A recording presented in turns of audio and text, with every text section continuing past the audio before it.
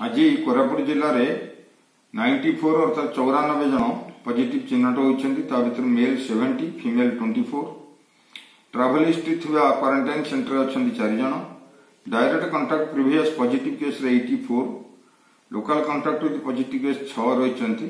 Home କ୍ୱାରେଣ୍ଟାଇନ୍ରେ seventy eight ତେରଟି containment ଜୋନ୍ରୁ ଟ୍ରାଭେଲ୍ ହିଷ୍ଟ୍ରି ଏଇଭଳି ରହିଛି। ଗୋଟେ ୱେଷ୍ଟବେଙ୍ଗଲ ରିଟର୍ଣ୍ଣିଂ ଗୋଟେ ବାଙ୍ଗାଲୋର ରିଟର୍ଣ୍ଣିଂ ଗୋଟେ ଚେନ୍ନାଇ ରିଟର୍ଣ୍ଣିଂ ଜଣେ Rayagada returning details of positive case ଏଇଭଳି ଚଉଦଟି କେସ୍ ବନ୍ଧୁଗାଁ ବ୍ଲକ ସାତଟି କେସ୍ ନୀଳାବାଡ଼ି ଭିଲେଜ ଛଅଟି କେସ୍ ବଡ଼ଗଡ଼ ଭଲସା ଭିଲେଜ ଗୋଟେ ହେଉଛି ମେନ୍ ରୋଡ୍ ତିନୋଟି କେସ୍ ରହିଛି ଦଶମନ୍ତପୁର ବ୍ଲକର ଦୁଇଟି କେସ୍ ରହିଛି ପୋଲିସ କ୍ୱାର୍ଟର୍ସର ଗୋଟେ କେସ୍ ନୂଆଗୁଡ଼ା ଭିଲେଜ ଦୁଇଟି କେସ୍ ଜୟପୁର ବ୍ଲକର ଗୋଟିଏ କେସ୍ ତା ଭିତରେ ରହିଛି ମୁଣ୍ଡିଗୁଡ଼ା ଭିଲେଜ ଆଉ ଗୋଟେ ଜୟତଗିରି ଭିଲେଜ ଏଗାରଟି କେସ୍ ଜୟପୁର ମ୍ୟୁନିସିପାଲିଟି ଦୁଇଟି କେସ୍ ରହିଛି କୁନ୍ଦାରିଗୁଡ଼ା ଗୋଟେ ଗୋଟେ କେସ୍ ଏଇଭଳି ରହିଛି ପାତ୍ର ଷ୍ଟ୍ରିଟ୍ର ଗୋଟେ ଶାନ୍ତିନଗରର ଗୋଟେ ବଙ୍ଗଲବାଡ଼ାର ଗୋଟେ ଫାଷ୍ଟ ଲାଇନ୍ ପାୱାର ହାଉସ୍ ଗୋଟେ ସୌରା ଷ୍ଟ୍ରିଟ୍ ଗୋଟେ ମିଲି ଷ୍ଟ୍ରିଟ୍ ଗୋଟେ ଆଦର୍ଶ ନଗର ଗୋଟେ ବାଙ୍କବିଜା ଗୋଟେ ଆଉ ନଗରଚି ଷ୍ଟ୍ରିଟ୍ ଗୋଟେ।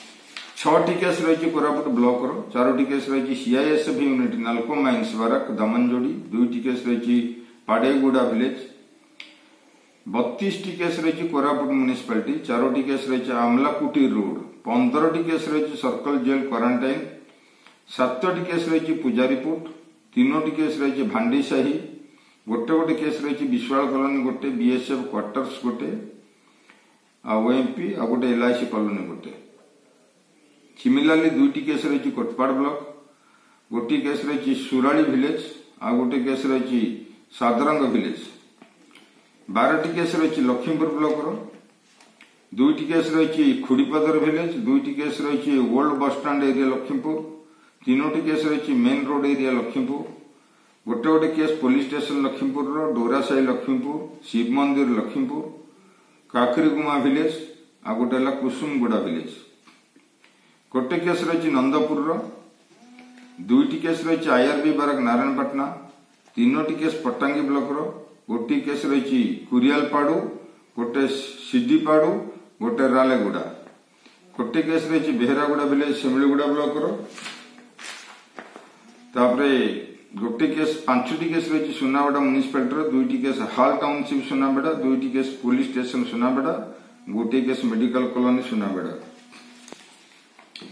ଆମେ ଗତକାଲି ମଧ୍ୟ ଆପଣଙ୍କୁ କହିଥିଲୁ ଯେ ଏଇ ଯୋଉ କଣ୍ଟିନ୍ୟୁଅସ୍ ଆମର ପଜିଟିଭ ସଂଖ୍ୟାରେ ଯୋଉ ବୃଦ୍ଧି ଘଟିଛି ତାର ମୁଖ୍ୟ କାରଣ ହେଉଛି ମାନେ ଆମର ଟେଷ୍ଟିଂର ରେଜଲ୍ଟ ଗୁଡ଼ିକ ସେହି ଅନୁସାରେ ଆସୁଛି। ଯେହେତୁ ଟେଷ୍ଟିଂରେ ବୃଦ୍ଧି ହେଇଛି ଏବଂ ରାଜ୍ୟ ସରକାର ତାଙ୍କର ସ୍ୱତନ୍ତ୍ର ଦୃଷ୍ଟି ରହିଛି ଯେ ଆମେ ଯେତେ ଗୁଡ଼ିଏ ରହିଛି କେସ୍ ରହିଛି ଆମେ ସବୁଗୁଡ଼ିକ ଟେଷ୍ଟିଂ ମାଧ୍ୟମରେ ତାକୁ ଟ୍ରାକ୍ କରିବୁ ଟେଷ୍ଟିଂ କରିବୁ ତାପରେ ଟ୍ରାକ୍ କରିବୁ ତାପରେ ଆଇସୋଲେସନ୍ କରିବୁ ଏବଂ ଟ୍ରିଟମେଣ୍ଟ କରିବୁ।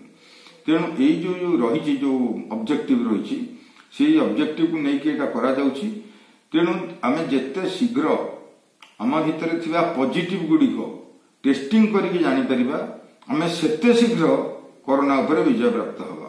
ଆଉ ଯଦି ଆମ ଭିତରେ କୋଭିଡ ପଜିଟିଭ କେସ୍ ଥିବ ଏବଂ ଆମେ କଚ୍ଛପ ଗତିରେ ଟେଷ୍ଟିଂ କରିବା ଅଳ୍ପ ଅଳ୍ପ କରିବା ଅଳ୍ପ ଅଳ୍ପ ପଜିଟିଭ ବାହାରୁଥିବ ଏବଂ ଆମେ ଭାବିବା ଯେ ଯାହା ହବ ଆମର ଅଳ୍ପ ବାହାରୁଛି।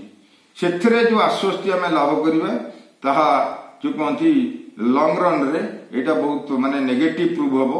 ତେଣୁ ସେଥିପାଇଁ ମାନେ ଆମେ କୌଣସି ଯେଉଁମାନଙ୍କର ଲକ୍ଷଣ ଅଛି ଆମେ ସମସ୍ତଙ୍କୁ ଆହ୍ୱାନ କରୁଛୁ ଯେ ସେମାନେ କାଳ ବିଳମ୍ବ ନ କରି ସେମାନେ ତାଙ୍କର ଟେଷ୍ଟିଂ କରେଇ ନିଅନ୍ତୁ। ଏବେ ଆମେ ଟେଷ୍ଟିଂ ପାଇଁ ସମସ୍ତ ବ୍ଲକ ଆଉ ସବୁ ଅର୍ବାନ ଏରିଆରେ ଆମେ ଟେଷ୍ଟିଂ ସେଣ୍ଟର କରିଛୁ। ତେଣୁ ଆପଣମାନେ ଆସି ଟେଷ୍ଟିଂ କରାନ୍ତୁ ଏବଂ ଆମର ଜିଲ୍ଲା ତରଫରୁ ଯୋଉ ଆମର ଯୋଉ ଲକଡାଉନ ଯୋଉଟା ଜାରି ହେଇଛି up to thirty first midnight ଯାଏଁ ସେ ଲକଡାଉନର ନିୟମକୁ ପାଳନ କରନ୍ତୁ। ଦୋକାନର ସମୟ ଯୋଉ ବୃଦ୍ଧି କରାଯାଇଛି ତା ଯୋଗୁଁ ଆମ ଭିତରେ ଯୋଉ ସାମାଜିକ ଦୂରତ୍ୱ ରହୁନଥିଲା ସମସ୍ତେ ତରତର ହଉଥିଲେ କେମିତି ଏଇ ସମୟ ଭିତରେ ଆମେ କିଣିଦେବୁ ଆମେ ସେ ତାକୁ ଦୃଷ୍ଟିରେ ରଖି ସାମାନ୍ୟ କୋହଳ କରିଛୁ ଏଇଥିପାଇଁ ଯେ ସେମାନେ ଏତେ ବ୍ୟସ୍ତ ହେବା ଦରକାର ନାହିଁ। ସେମାନେ ଆସିବେ ନିଜ ଭିତରେ ସାମାଜିକ ଦୂରତ୍ୱ ରକ୍ଷା କରିବେ ମୁହଁରେ ମାସ୍କ ପରିଧାନ କରିବେ ଏବଂ ସେମାନେ ତାଙ୍କର ଯାହା ତାଙ୍କର କ୍ରୟ କରିବାର ଅଛି କ୍ରୟ କରିବେ ଏବଂ ଠିକ୍ ସମୟରେ ଯେଉଁ ସମୟରେ ତାହା ବନ୍ଦ କରାଯାଇଛି ସେହି ନିୟମ ପାଳନ କରିବେ।